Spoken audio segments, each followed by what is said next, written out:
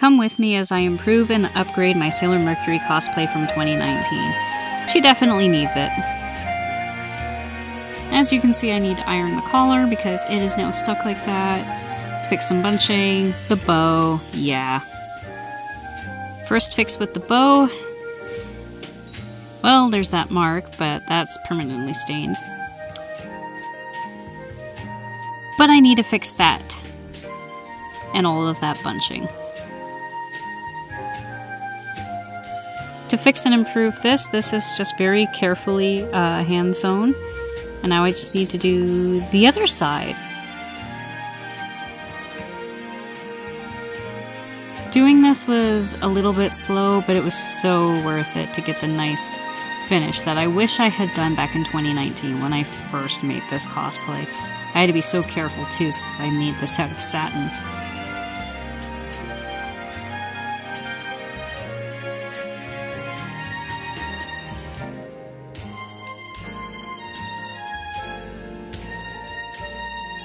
When I first made this back in 2019, this was my biggest issue was those holes that you see there. So I'm going around and hand sewing it and fixing it because I did hand sew the hip roll and the skirt on while I wore the leotard back in 2019. So I'm going around and getting rid of those holes so I don't have that problem anymore. Doesn't that look so much better? I think so. But now I need to go and fix that, because that just looks awful.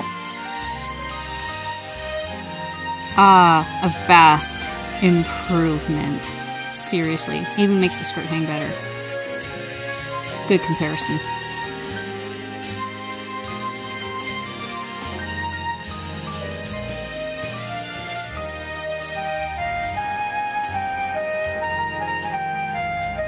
And now the bow sits better too. It sits even better when it's actually worn, and the skirt looks so much nicer like this. My original gloves for Sailor Mercury never fit properly, and they turned yellow in storage. So I took another pair. These actually fit tighter in my calf now because I've gained more muscle, but I do plan to improve the boot covers a little bit because I don't want that toe flipping up anymore. Overall, I'm still pretty happy with this cosplay from 2019 though.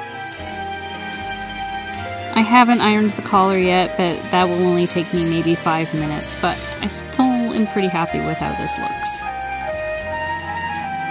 The cosplay looks so much better now. I'm so happy.